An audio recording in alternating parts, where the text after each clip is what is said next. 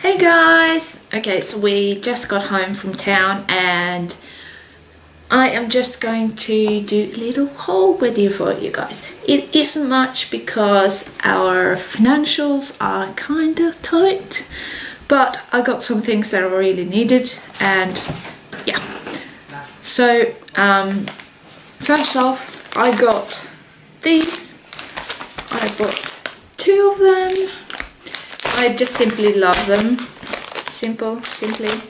Yeah, I love them. They are so good for if you go to bed and you just can't be bothered to wash your face and get your makeup off. Um, like I do a lot of times, I just wipe my face down with a couple of these. And then I got something I really didn't need, but I wanted it. Um, I got this Lipton green tea strawberry cupcake and um, it's going to be interesting to see if these taste any good because I do struggle a little bit with Lipton's teas because I feel they have so little tea in their bags like this big bag and there's like that little amount of tea. So I always use two of them in a cup. Hang on. I actually have one brewing right now. So I use two of them in a cup like this. And it smells a little bit funny, but we'll see, we'll see. it smells kind of like vanilla strawberry cupcakes. So we'll see if I like it or not. And then we went to Vita, which is a pharmacy or um, drugstore here. Um, this one doesn't actually have medicines. Uh, they basically uh, decided to open one with only the makeup and hair color, shampoo side of of that pharmacy. So they don't have medicines. You can't get your prescriptions filled there.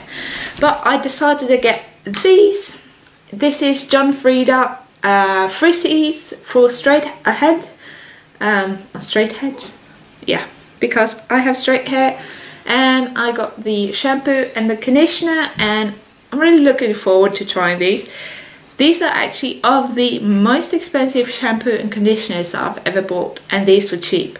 They were put down from 119 Norwegian kroner, which is about 12 pounds, to uh, 79 kroners, which is about 8 pounds. So I decided to get them because I need a new shampoo and conditioner.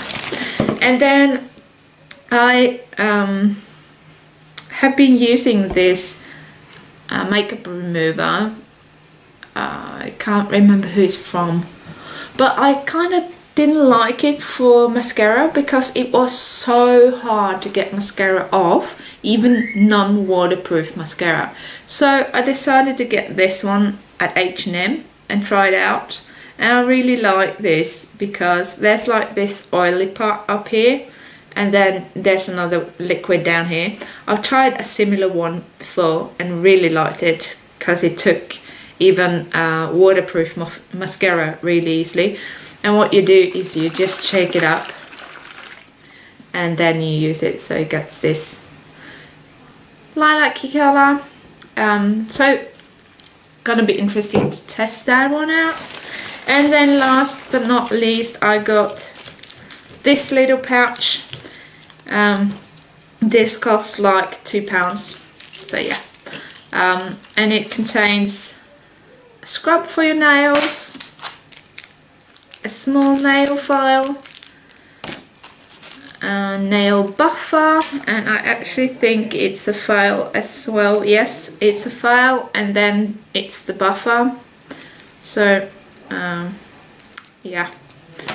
And then it has this one in it as well. It has that side there and then that one. This is it's not soft soft but it's more soft than, than hard plastic. So I got those um, yeah and that was what I got in town today apart from groceries so now I'm gonna take my tea, go sit down and maybe knit a little. So I love you guys so much. Bye. See you soon.